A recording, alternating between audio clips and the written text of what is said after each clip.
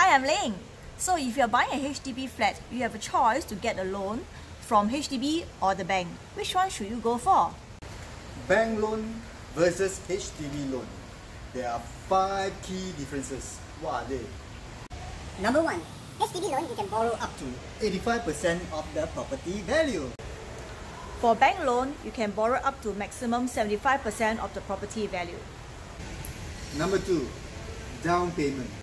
For HDB loan, you only need $5,000 cash.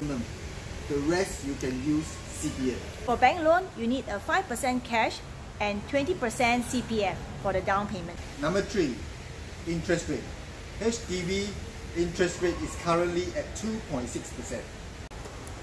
Bank loan interest rate is currently at about 1.1% to 1.4%. Number four, loan tenure.